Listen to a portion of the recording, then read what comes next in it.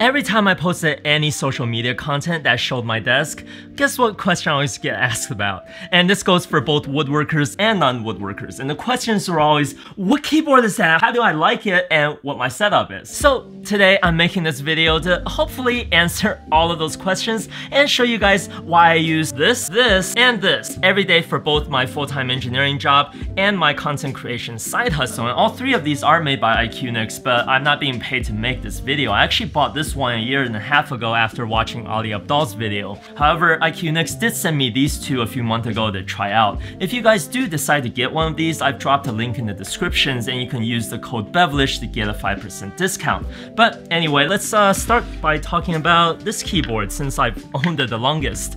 Now this is F96 in the Coral Sea color scheme and before getting this keyboard, I knew absolutely nothing about mechanical keyboards. So I'm not ashamed to say that I bought this purely due to its looks. But now that I've used this keyboard for like a year and a half, I've really come to appreciate the 96% layout, which means there are only 100 keys instead of the 104 keys on a full-size ANSI keyboard. And then it's all compressed to a smaller size by removing all of those gaps between those keys. And honestly, if you were to ask me which four keys were removed from this keyboard, I would not be able to tell you because everything that I use are still all here, including the number pad. So to me, this is a full-size keyboard in just a much, much smaller package, which is why I love this keyboard for my engineering job. Now, on the other hand, I almost never touch this area when I'm doing my content creation stuff, but I never really gave it much of a thought until IQUNIX asked me to check out their 80 series keyboards, which removes the number pad as well as a few of the navigation keys, leaving a total of 83 keys, similar to what you'll find on most laptops nowadays. Now, what really make these keyboards stand out is the design, which are clearly inspired by vintage computers and gaming systems, and these look absolutely amazing. Now, the top row of keys on the A80 are angled, which looks like those computers from the early 80s, and I think even the Atari 2600 had this sort of a look, which is a really unique design on modern keyboard like this. Now, since I only use the escape, print screen, and delete keys in this top row, it's really never bothered me, but if you use these F keys a lot, this might be something that you'll have to get used to. So if that's not your thing, take a look at the L80, which has a more conventional shape. And the best way for me to describe the design is that Atari and Nintendo got together and made a baby. Now that actually leads me to another thing I love about the design, and that's the color combinations. Now both of these keyboards have more neutral base colors, so I think these are a lot easier to match with the whole modern minimalist desk setups that everyone's looking for nowadays.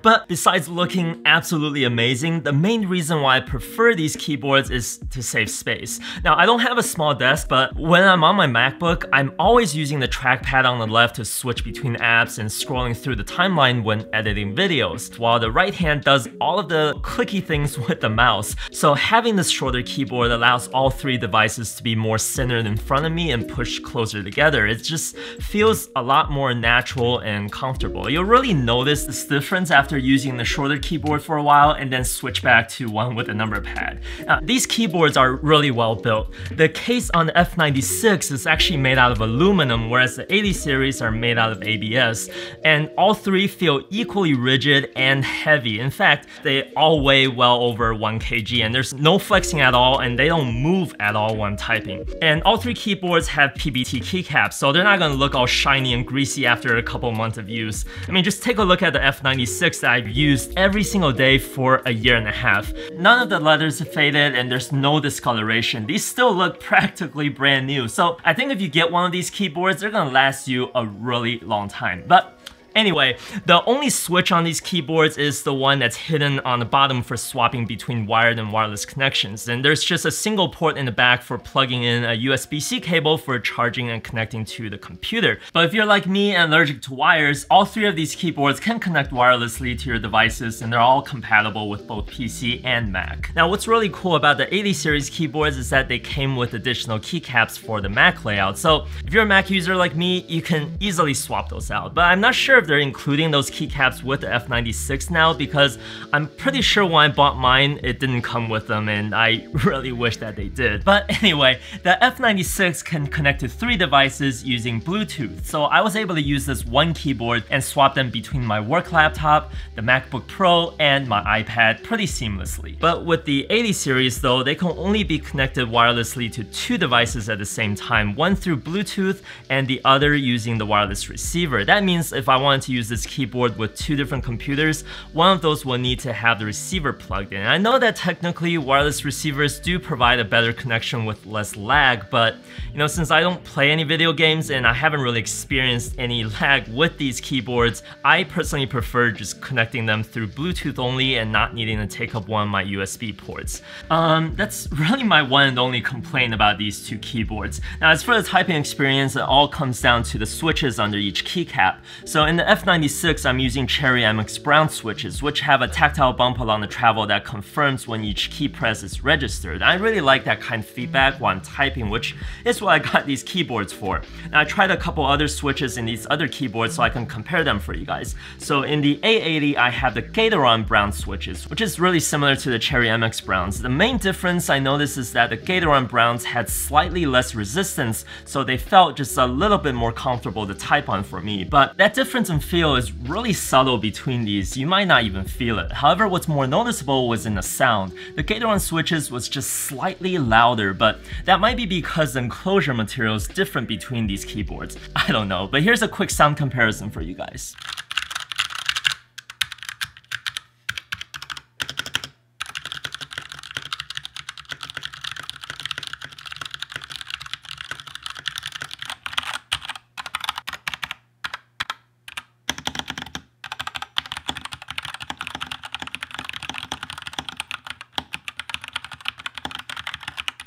L80 has Gateron red switches, which does not have that little bump along the key travel, so each key press feels considerably lighter compared to either of the brown switches. And because of this, I found myself more likely to press the wrong key, especially when I was typing fast. Also, I'm one of those people that like to press each key all the way to the base when I'm typing, which is why I definitely prefer the higher resistance in the brown switches. However, I did notice that the red switches sounded much quieter, so if you're someone who types lightly or just want a quieter typing experience, you definitely won't go wrong with the Gateron Reds. Here's a sound comparison between all three.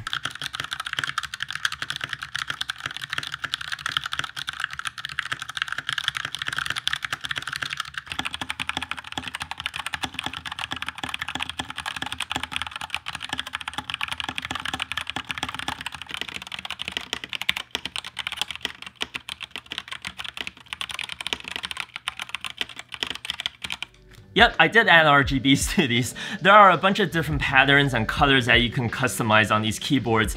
And there's really no functions to these other than just looking cool and draining the batteries much quicker.